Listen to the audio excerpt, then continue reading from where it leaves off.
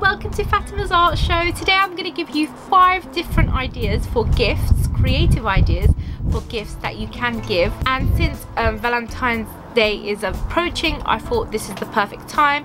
But of course, you can give these gifts any time of the year to someone you love. My first idea is um, creating kind of like a jar. Um, you can decorate this jar and you can place anything you want inside it. It can be someone's favorite chocolate, someone's favorite sweets, even someone's favorite hot chocolate. It could be anything, you know. So that's first idea creating a container of some kind where you can so it'll be kind of half made and then obviously the, the contents of it is obviously not made but it's kind of like a half made thing so it's like you really have uh, put in the effort. So yeah a container or a jar or a box that you can decorate and I'm sure whoever you give it to will love it. My second idea you might find a bit old-fashioned but actually it's really lovely and that is creating your very own love letter or letter. I know some people might be thinking oh why know why a letter? Why you know why do you have to um, sort of write things down? You've got all this social media now you can express your love online and there's so many ways you can just kind of communicate with someone. Why would you want to write it down? But actually I think it's really romantic and really nice to kind of write a letter to someone or make card um, so it, you've put in the effort to actually create that thing.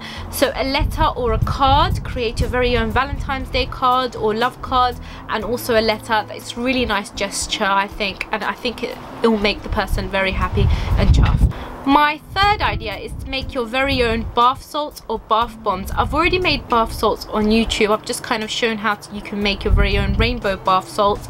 But of course, um, bath bombs, bombs are also fantastic and great to make. And I'll just kind of give you um, the, the recipe or the mixture of how to make that in the description box. But I thought it would be a really fantastic idea. Idea number four is picture frames. Picture frames are fantastic ways to capture memories and remind that special someone of a special moment you've had with them. So of course, it's really nice to give a picture frame with an image inside. Um, what's better is that if you decorate the picture frame and make it your very own and um, I will put again a link on how to do that in the description box.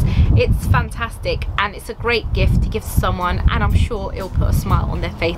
Idea number five the final idea and the idea that most people love to kind of buy and give. They tend to buy a lot of flowers this time of year and um, any time of year where you want to give give someone you love um, something nice you, you grab a bunch of flowers. So why not make your own flowers? You can make your own bouquet of flowers.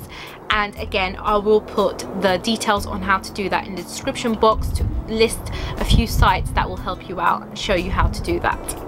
Okay so I hope that's helped you. I hope you can give that special person that lovely gift that they will cherish and love. And um, also don't forget to love yourself. We always love other people but we forget about ourselves. Pamper yourself and take good care of yourself. Thank you very much for watching.